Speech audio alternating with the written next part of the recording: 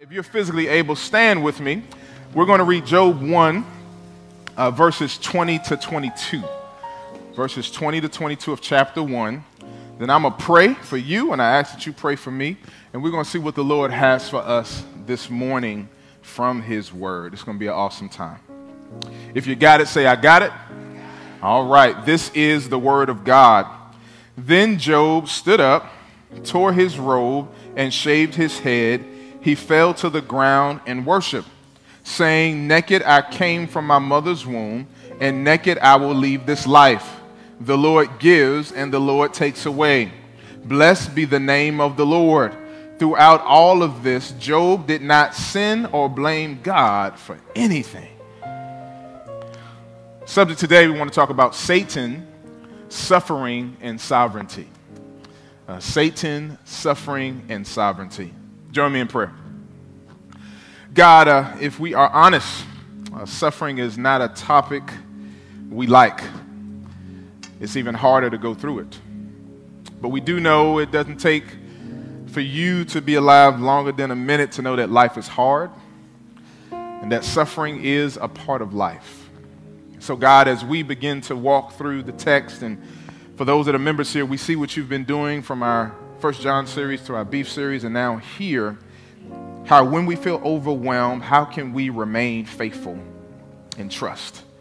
And so, God, while we don't like the topic and we know it is inevitable and it's inescapable, God, we are grateful that you are with us while we go through. So, God, I, I pray now, God, just for an anointing that we would understand and have a theology of suffering, God. What does it mean to suffer well and to maintain our faith? How do we hold on when we feel like we can't? So, God, I am not wise enough for the depths of your word, so I ask that you would set me aside, move me out the way, use me as a willing vessel for such a time as this.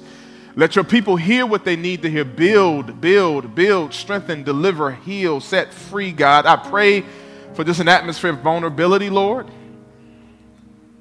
As I don't know the depths or degrees of suffering in this room right now, but you do from marital issues to physical issues to the loss of loved ones. God, life is hard, but you are greater than our hardest moments. And those hardest moments do not define us, you do. So, God, help us to believe that when we don't feel like it. So, set me aside. Use me as your vessel right now. In Jesus' name, we pray. Let all of God's people say amen. Amen. You may be seated. I want to start with a quote by Philip Yancey. He says this Faith means believing in advance what will only make sense in reverse. Let me say that again. I want you to feel the weight of that because that's a poignant quote. Faith is faith means believing in advance what will only make sense in reverse. And I want you to hold on to that. I want that to be more than a quote of today, quote of the day. I want that to be a quote for life as we dive into this topic. Now, in my journey through life, I've had the honor by God's grace of graduating from both uh, my SHBCU on the undergrad level and my seminary on the graduate level. And I've had many professors, and some of those professors are memorable. But if we're honest, when we are done with school, typically we are done with that professor. Amen. We, we move on, we got the degree, we got our paper, and we're ready to apply. And hopefully, this paper will put a couple more commas on that salary. Amen? Uh, and as, as much as uh, I do love school and I love learning, and there have been professors that have been impactful, there's one professor, and this is going to sound hard coming from a pastor who's a Christian, but I'm going to say it anyway. There's one professor I hate. And, and I know that's a strong word coming from a pastor. And you don't want to hear me say that, but I'm going to keep it a thousand with you. There is one professor I hate. And the reason I hate this professor is because I can't graduate from him. I can't get away from this particular professor. And another thing I hate about this professor is this professor loves giving pop quizzes. The quizzes that this professor gives, you don't feel prepared for. They come out of out of the blue. And they, they challenge me in my health, and they challenge me in my marriage, and they challenge me in my faith, and they challenge me spiritually, emotionally, mentally. And that professor I'm talking about is Professor Payne. Professor Payne is the professor of life, and you can't get away from him. And he loves pop quizzes. You are not prepared, at least it doesn't feel like it, when that tragedy happens. You're not prepared when that suffering comes out of nowhere and you thought things were okay, then all of a sudden, Professor Payne pops up again. Does anybody hear what I'm saying?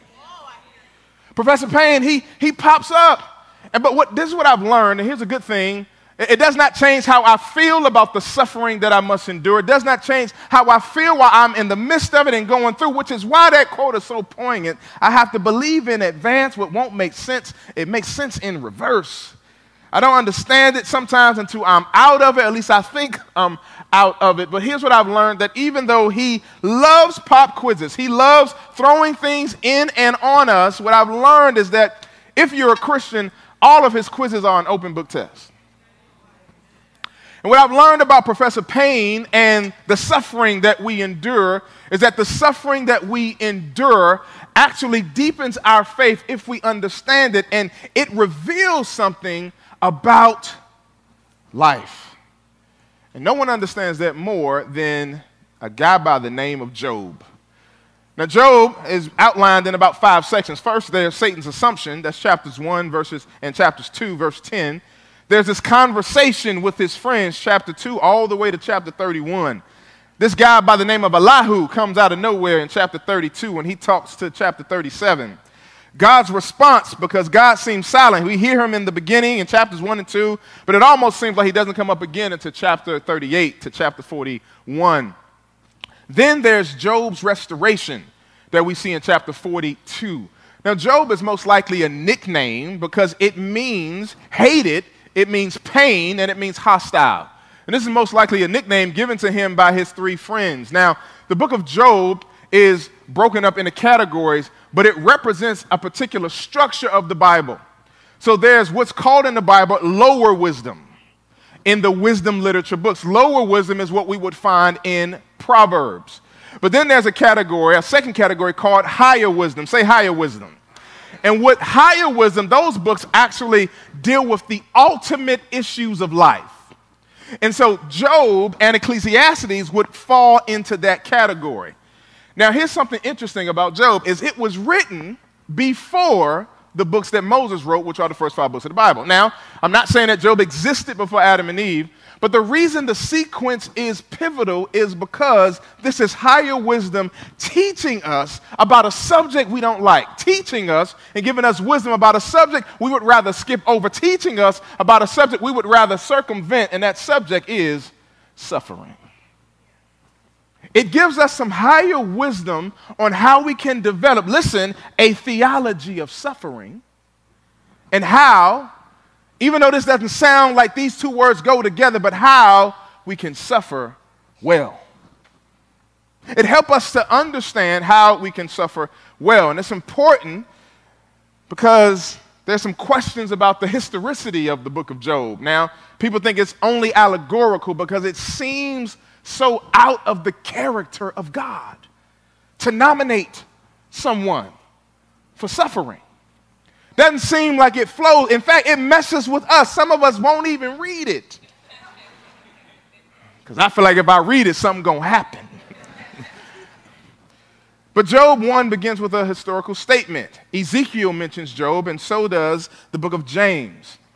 So the reason this messes with us is because God allows a good man to suffer. But what this is dealing with is do we trust God in the midst of pain that seems and feels purposeless. Now, Job is vindicated in chapter 42, but here's, here's where, if you've, you've been, especially if you've been in some old school churches, you heard that when they preach this, they say God gave Job double for his trouble. And, and that's true. He did give him double for his trouble, but it's so important that, that we don't have these little cliches and we miss the content of his life. Yes, he replaced 10 kids, but he lost 10 children. The point of this is not that he gave him double for his trouble, though he did restore him. The point is that Job maintained his faith when he was a part of a conversation that he did not give God permission to, and that he still stayed faithful in the midst of his suffering. The point of this is how can I go through but still trust God? How can things be removed from my life and I still trust God? That's what this is teaching us of the theology of suffering. Because when we go through certain things, if we're honest, we ask God, how could you allow this? And you fill in the blank with what your this is. Some of you, the this is my marriage. The this is my child who no longer believes. The this is the doctor's report that I did not want. How could you allow this? So this book raises some questions, doesn't it? Personally, I have to ask, do I trust God? That's our first question, while I'm suffering. Second question is my commitment to God based on favorable circumstances? Three, what do you do when you're doing right and wrong happens? Question four, can I maintain, hear me, can I maintain my relationship when God has not given me a reason for what I'm going through? Question five, can I question God while I suffer? And, and a very important question, question six, can I accept that not all of my questions will be answered. Now, now here it is. Job, thank you, Brother Barron. Job, Job has 330 questions. Why? Because when we suffer, we say, God, I need some answers. So there are 330 questions in Job. Now, just to put this in perspective, there are 150 questions in Genesis. 160 questions in a 150 chapter book by the book of Psalms. And then if we go to the New Testament, there are 150 questions in Matthew. So those are our personal questions, but then we have some theological questions about Satan. Question is, how much power does he have? Suffering, two questions. Why does God allow it? Then the second question about suffering to God is, how can he use it? Then about his sovereignty. How do we distinguish between what God allows and what God affirms? See, suffering reveals the depth of our faith. Will you trust him when you don't feel like it? Now, now here's why many of us have a bad theology of suffering. And it's not completely your fault. But many pastors have stood behind pulpits all across America and they've given you an incomplete version of biblical suffering. Because they get up here and they tell you, He'll never leave you, nor He'll never leave you, nor. And so they say that, and that is in the Bible, Hebrews 13, 15. But here's the problem we teach it in a way that He'll never leave nor forsake me means that I won't feel forsaken. We teach it in a way that we won't feel like we've been abandoned. We teach it in a way as if we feel like we won't have to go through some very hard things that make us question the very goodness of God. See, here's the point. Wasn't it Jesus who said, My God, my God, why have you? And so he's showing us that it's not that forsaken means you're not going to go through, because he didn't promise that we won't go through. What he promised to be with you while you and I go through. He promised his presence, not that you can circumvent the situation. And so we got to have the right theology about suffering. Now, here's some reasons for suffering. There are five. Number one, it's just a result of a fallen world, y'all. To answer, why, why does it happen? He says that Genesis chapter 3, because we're in a fallen world that has sin in it and people have free will, things happen. The second reason we suffer, this doesn't apply to all of your suffering, but some of us are suffering because of our personal decisions. Some of our suffering is self inflicted. But number three, some of us are suffering because of external influence. It's not our fault. Someone abused us, someone molested us, someone touched us. It was not your fault. And we have to suffer the thoughts and the flashbacks. We have to suffer being hard to be intimate with people we can trust because of someone we should never have trusted. But then, number four, we suffer for some reason that are just unknown. And I know we hate that. And then, number five, we do suffer because of Satan. Satan.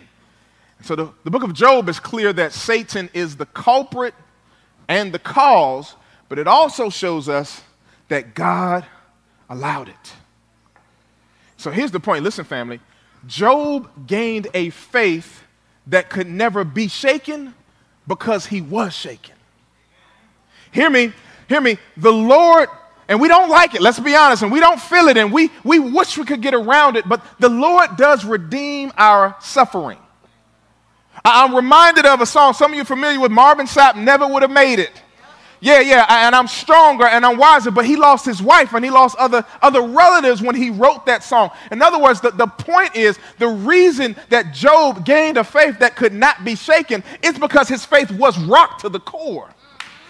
And when you and I learn how to be faithful when we don't feel like it, how to be faithful when I'm not sure if I feel his presence, when I feel, when I be, can I be faithful when I feel like the hand of God is against me? When I go through that, the Philip Yancey quotes comes in, faith is believing in advance what only makes sense in reverse.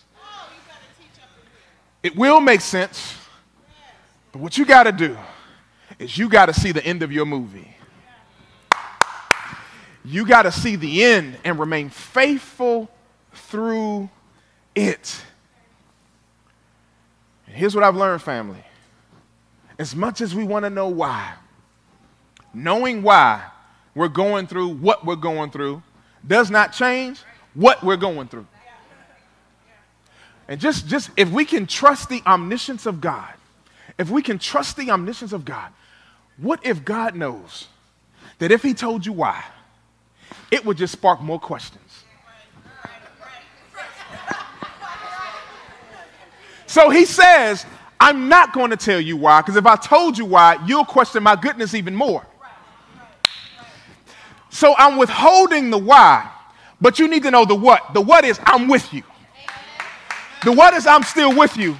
Why you go through. So here's our thought tattoo. Suffering reveals the depth of our devotion to God and it deepens our understanding of God. Listen, suffering's only going to do two things. Either it's going to drive you away from God and to you deconstructing your faith, the biblical word is apostasy. Either you're going to say, if he going to let, I don't want to serve a God that allowed that to happen to me. It'll, it'll drive you away. Or it's going to draw you closer to a deeper devotion when you realize that he's with you and he suffered because of you, but he still suffered for you. Either it's going to drive or it's going to draw, but you decide. How we respond to what we're going through.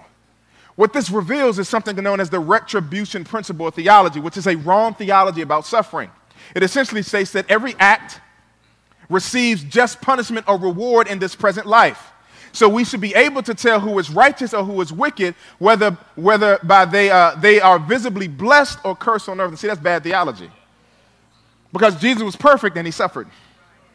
And here's a righteous man who's going to suffer. Another example of this is John chapter 9, verse 2 and 3. It says this it's about this blind man. He was blind at birth, and here's what happened. Here's this retribution theology. His disciples asked, Rabbi, who sinned, this man or his parents, that he was born blind? And here's Jesus' response Neither this man nor his parents sinned, Jesus answered. This came about so that God's mighty works may be displayed in him. Listen, all of your suffering is not punitive. Your suffering is not purposeless. God is not against you. All of your suffering is not tied to some secret sin. Sometimes we just suffer because God is sanctifying us through it. So, chapter 1, verse 1 there was a man in the country of Uz named Job. He was a man of complete integrity who feared God and turned from evil. He had seven sons and three daughters. His estate included 7,000 sheep and goats and 3,000 camels, 500 yoke of oxen, 500 female donkeys, and a very large number of servants. Job was the greatest man among all the people of the East. His sons used to take turns having banquets at their homes. They would send an invitation to their three sisters to eat and drink with them. Whenever a round of banqueting was over, Job would send for his children and purify them, rising early in the morning to offer burnt offerings for all of them. For Job thought, perhaps my children have sinned, having cursed God in their hearts. This was Job's regular practice. Here's our first point when suffering, don't mistake what God allows with what God affirms. Okay?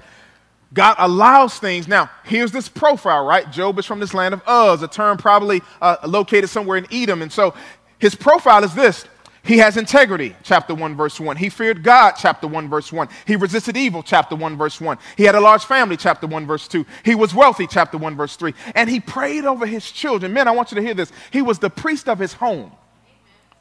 The greatest thing we can give our families is a legacy of a, of a faith rooted in Christ as our foundation as men. And here it is this man leaves this beautiful legacy. He's living his life, and yet he is the one who suffers. Now, let's be honest, this does not sound like the profile of someone that's going to go through. But here's the point. What's interesting about this book, this 42 chapter book, is chapter 1, verse 5 reveals Job praying for his children. Then in chapter 42, verse 8, Job is praying for his friends. So throughout his suffering, Job maintained a strong prayer life. Now here's what we need to remember about suffering. Christ suffered. 1 Peter 2, uh, 124. Number two, Christ promised suffering. He said, In this world you will have trouble, but be of good cheer, for I have overcome the world. John 16, 33. Righteous people suffer. 2 Timothy 3, verse 12. All of those who choose to live a godly lifestyle must not if, not maybe, must endure persecution. Righteous people go through. Who's our example? The sinless, perfect, righteous Jesus who suffered. Number four, we don't like this, but this, this is still actually good news. Suffering is sanctifying. 1 Peter 2 20 through 24. And then suffering, here's some more good news, even though we got to wait for it. Suffering has an expiration date. Revelation 21, verse 4. Now, here it is Satan's Satan's assumption. Verse 6 One day the sons of God came to present themselves before the Lord, and Satan was with them. The Lord asked Satan, Where have you come from?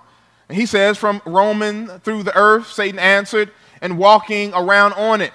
Then the Lord said to Satan, Have you considered my servant Job? Hold up, God. Why are you nominating folk? Why don't you nominate one of them shady judges? No one else on earth is like him, a man of perfect, perfect integrity who fears God and turns from evil. Satan answered the Lord, Does Job fear God for nothing? Remember, Job always, I mean, Satan always asks questions. That's what he did to Eve. Haven't you placed a hedge around him? That's where we get that idea of a hedge of protection. That's where we get that from. His household and everything he owns, have you blessed the work of his hands and his possessions and have increased in the, in the land? Verse 11, but stretch out your hand and strike everything he owns, and he will surely curse you to your face.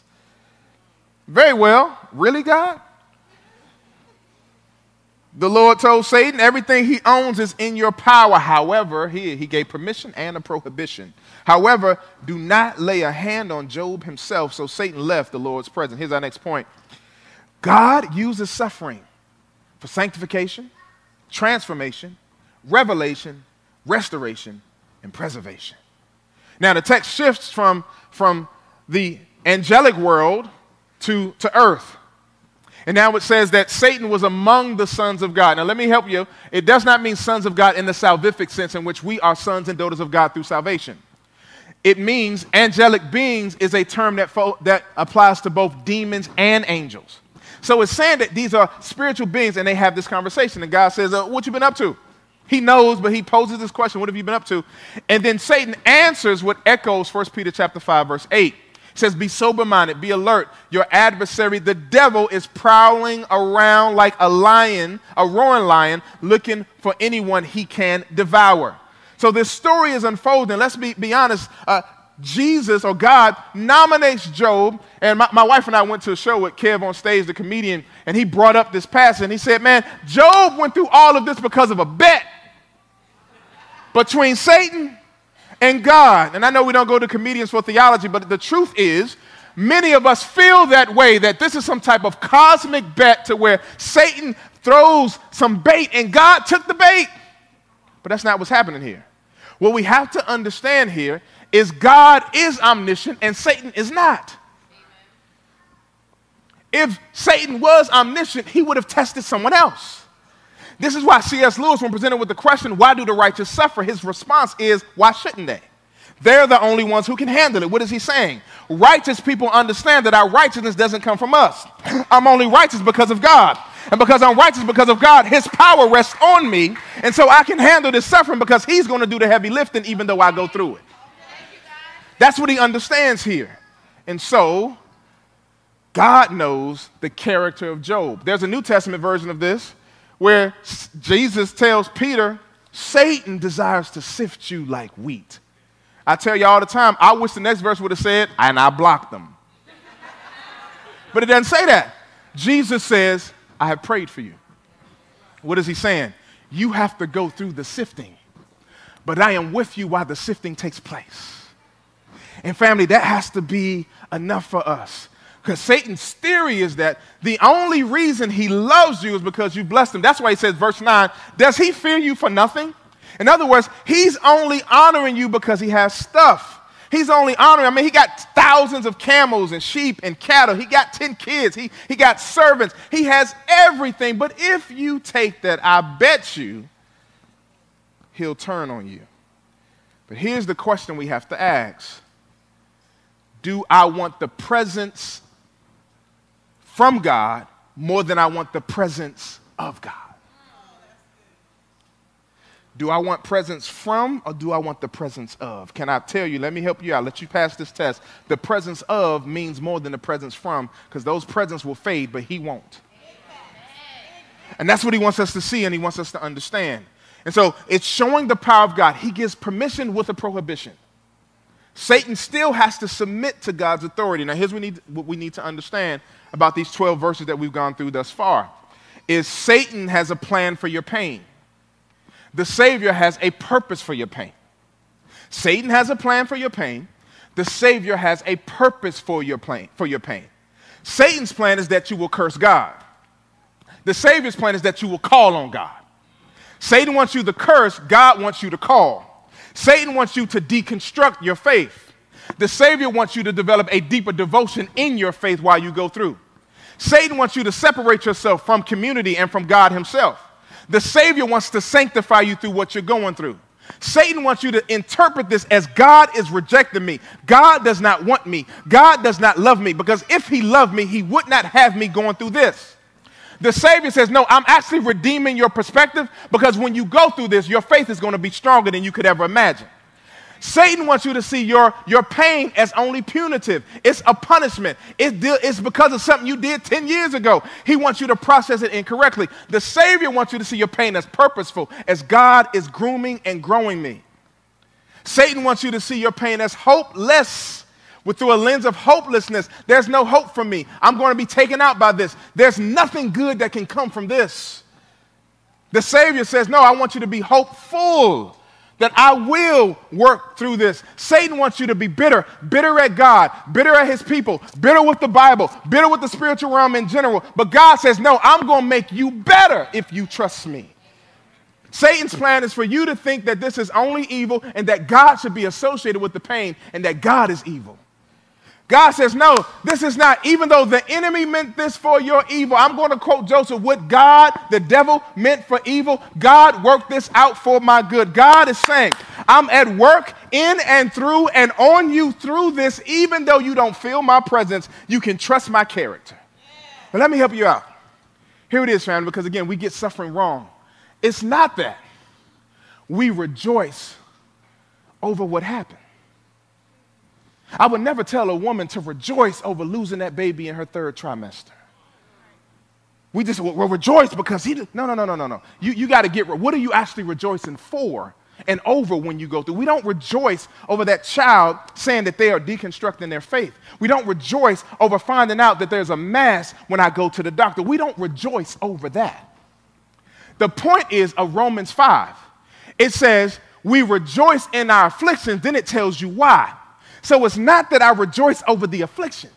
It's not that I rejoice over the situation. It says we know that if we go through this, that it's going to produce endurance, character, and hope. So I don't rejoice over what I'm going through. I rejoice over what God does through me while I go through. And so when I go through this, I'm going to gain some spiritual endurance that if I can go through that, I can go through this. I'm going to develop some hope that even though it looks hopeless, I realize that God is still at work and I can be hope filled. So I don't rejoice over the loss of that relative. I don't rejoice over that bad doctor's report. I rejoice that God is going to give me some spiritual endurance. He's going to build my character and He's going to renew my hope if I stay faithful. So I stay faithful in the midst of it. Now, here's Job's suffering. Verse 13 One day, when Job's sons and daughters were eating and drinking wine in their oldest brother's house, a messenger came to Job and reported while the oxen were plowing and the, the do- donkeys were grazing nearby, the Sabeans swooped down and took them away. And we hope that, hey, that, that's one bad message, but man, I'm, I'm, I'm sad about those donkeys, but we think we can make it. But it says they struck down the servants and the sword, and I alone have escaped. He was still speaking, but then there's another messenger. So here it is, it's piling up. God's fire fell from heaven. It burned the sheep and servants and devoured them. I alone escaped to tell you, okay, that's two messages, uh, but, but I think I'll be okay. I'm going to go on and see what the end going to be.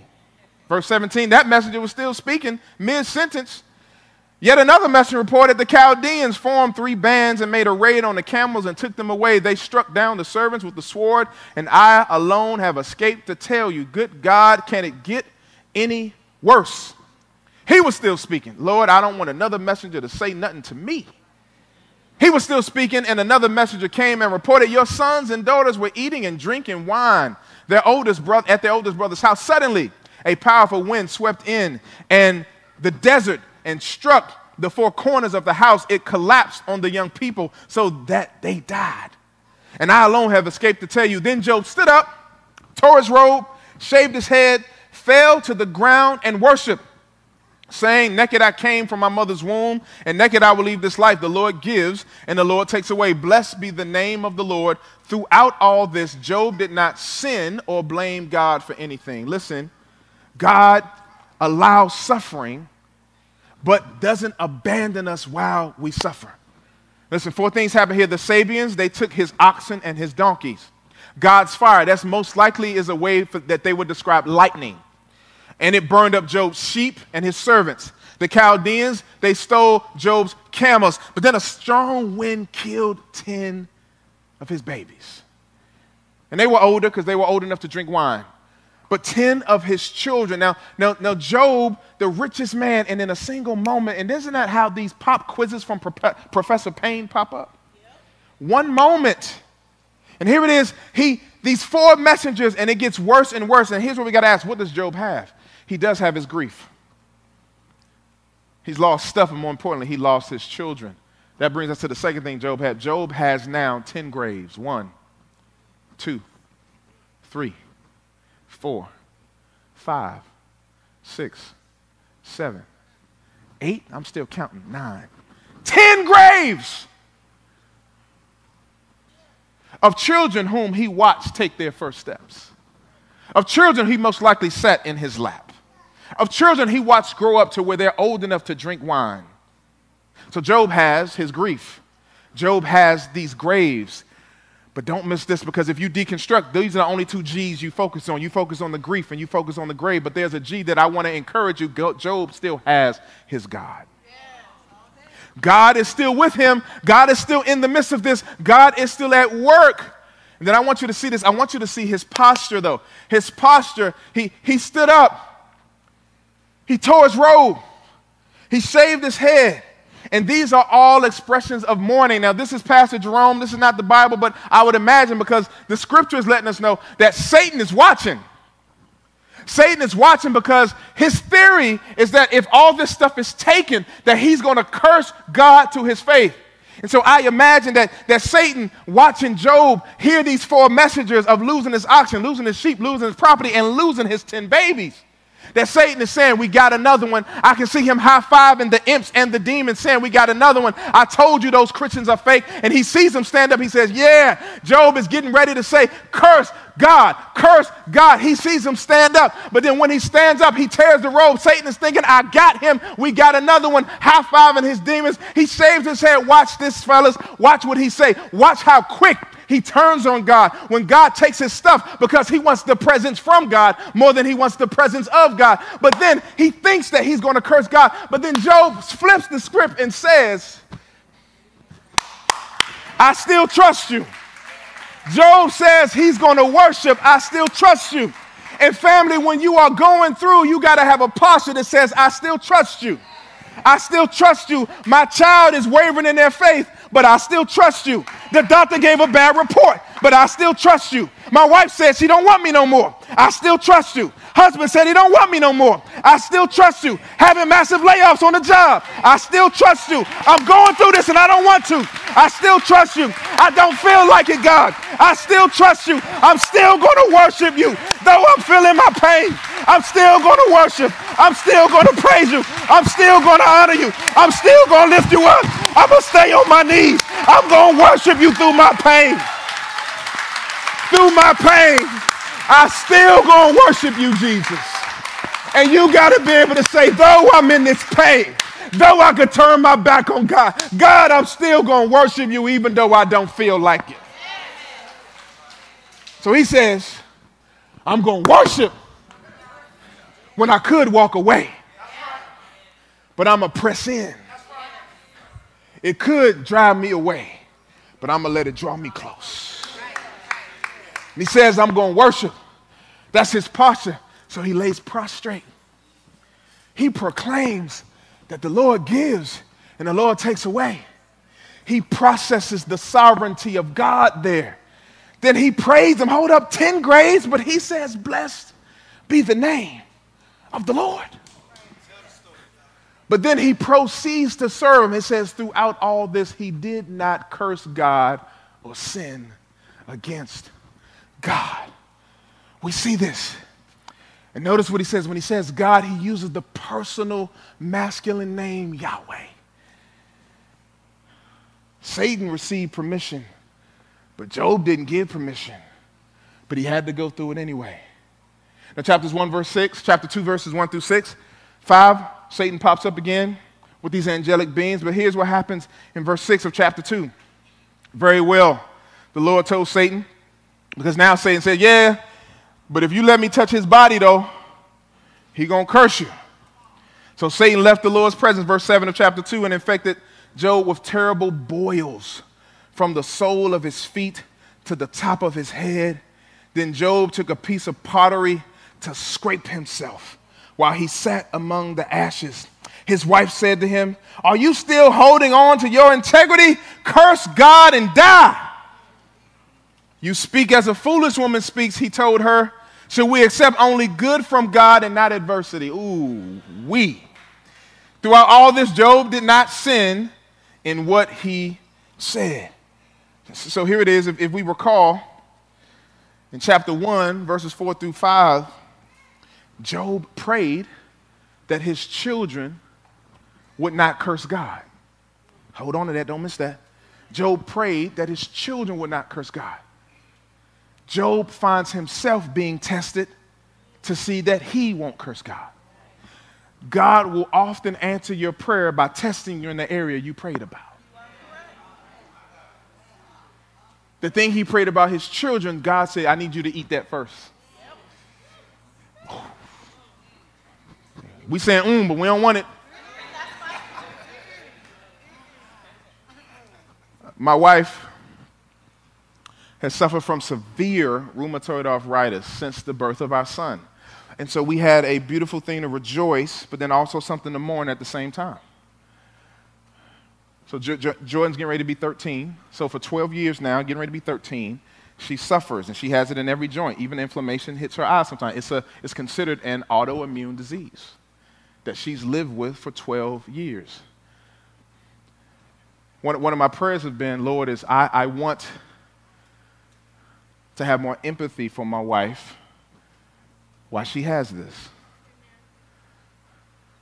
And we've had conversation, and I'm not a perfect husband, and I need to show more empathy. And so that was my prayer. And so, not to be too graphic, but last year I'm, I'm at that age, brother, just turned 45, and had my colonoscopy last year. And I got a semi good report. Then I was diagnosed with an autoimmune disease. Thank God, not nothing terminal in terms of cancer. But less than a year later, to start this year, this has been the roughest year for, for your pastor in terms of his health. So I had to have another procedure, 10 months of having a colonoscopy. I had to have another one to make sure there's nothing cancerous in my GI tract because I've had some severe issues. In the midst of that, I developed, been having this crazy headache, but it's only been on the left side of my head. And while I had that, I ended up, I have an eye floater, which I still have in my left eye. It's a little black thing that just pokes around. I had to get my brain checked to make sure it wasn't nothing serious. Then I had to have a CT scan. And I'm telling you, the hardest thing was waiting for those results. And, just, just, just let me pause. They sent me the daggone results before the doctor. I don't know what this word means. I'm giving myself a death sentence. I got Jalila blip blip. What is Jalila blip blip? So them apps, y'all need to change them apps. If any of y'all watch this, send it to the doctor first, not the patient.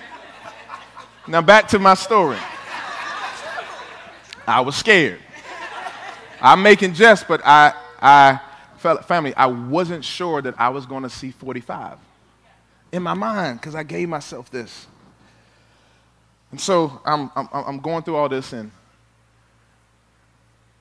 God reminded me, and I'm like,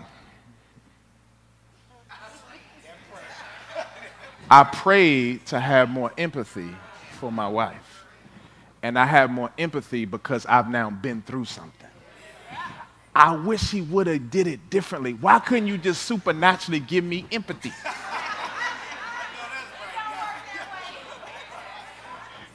and I, I'm not anti-medication, so hear me. But I'm, I'm look, I'm, I, I got a functional doctor. Give me some food. Let, how can we handle this naturally, right? Amen. And so I hate medication, but I had to be on medication. And here go my wife. She's been taking medication 12 years. And here she go. Welcome to the club.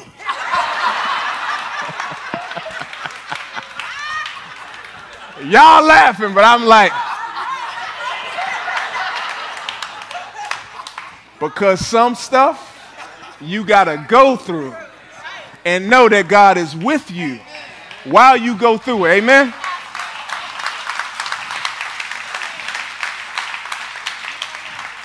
I, I, here's the point Job cursed his birth, but he didn't curse his God. Seven things, and I'm just going to go through these because I'm short on time. I want us to have this time of prayer. I'm skipping a lot. We'll, we'll, we'll re up next week. Can't get to all of it. Here's what we need to do while I'm suffering, okay? While I'm suffering. Listen, number one, allow yourself to grieve, but don't let your grief define you. He stood up, tore his robe, shaved his head. Those are expressions of grief and mourning. What does the text tell us? Mourn with those who mourn. God, it's not sinful for you to mourn and to be sad and frustrated. So, allow yourself to grieve, but don't let that define you. Okay? Number two, continue to worship even when you don't feel like it. He lay prostrate. 10 graves, 10 babies, gone. But he still worshiped. Number three, proclaim the sovereignty of God to yourself. It says God gives and God takes away. And I got to remind myself, God, you are still sovereign even though my wife wants a divorce. If that's your story. God, you are still sovereign even though my husband wants a divorce. God, you are still sovereign even though they see a mass. I got to remind myself because you don't feel like He's sovereign when you're suffering. Number four, process your pain with God by reading, reflecting, and reviewing. He is reciting, even though maybe the law, this was probably written before the law of Exodus 20. But here he is reciting the promises of God. Number five, praise God even when you don't feel like it. Blessed be the name of the Lord. He blessed God. Number six, continue to serve him and refuse to detach from community or deconstruct your faith. You're going to feel like leaving the faith sometimes, depending on the degree of your pain. Listen, you're not crazy for feeling that way, but you can't let your feelings lead you in that moment. Listen, you're not crazy for feeling like, man, I can't, tr- can I trust? I feel it. Through all my health stuff, the church has been growing like crazy the first couple months, and it's been a, the most hellacious time in my health, and I'm in shape. God let this happen after I lost 34 pounds, eating right, eating clean. And it still happens. That's how I knew it was him. I didn't gave up fried. Number seven, let others in. Chapter 2, 11 through 13, his, his three friends, I'm putting that in quotes. This is, this is the best time for them because it says that they sat with him because they saw that his suffering was severe. Let others in. I wish I could say that they were good, but for the most part, they give bad advice. Because from this point on, chapter, chapter 3 on, they essentially blame Job for his own suffering. Don't let it drive you away. let it draw you closer. Let's pray. Father, we thank you, we honor you, and we praise you for your mercy, your goodness, and your kindness. God, let us say that even when we don't feel like you're kind. The question our culture is asking is not just if God's real, but is God good? And if we're honest, even though we're in the faith, sometimes we feel that same question when we hear that our child's been touched by a teacher or a relative. When we were abused and we did all we could to protect our child, then something happens to them and we look to the sky and we're frustrated. If I could be honest, we're PO'd. God, we feel like I'm doing all I can to serve you, and you still let this happen. Let us be real, because the people in the Bible are. So, God, help us to be able to be uncensored with our venting, but still faithful in our volition, meaning our behavior still says, Blessed be the name of the Lord, even when I don't feel blessed. So, help us to process this prayer warriors, can you come forward? Guys, listen, now is certainly the time to be vulnerable and allow people to pray over you. The altar was flooded first service, and some people came forward just saying, like, I just feel like it's too much. I feel like if it's not this, it's something else. And I'm, I'm just tired. And some of you feel that, and, that's, and that is okay. So as we open this altar, I want to pray right now for those that are going to be praying over people. Anoint them for this time, Jesus, and let them give them the words to say as people come forward. Because I believe people are coming forward, and I know people need to come forward. So would you touch me? Let us all stand. So as they begin to sing and the altar's open, come forward whatever it is, whatever the degree of your suffering is, whatever it is, even if it's your voicing frustrations with God, that's what we see in the imprecatory Psalms. You're not crazy for thinking that or feeling that, but don't let that stay there. And lastly, if you want to trust Christ and you want someone to pray with you, it's your faith in Him that saves you. Would you come forward? So, God, we thank you.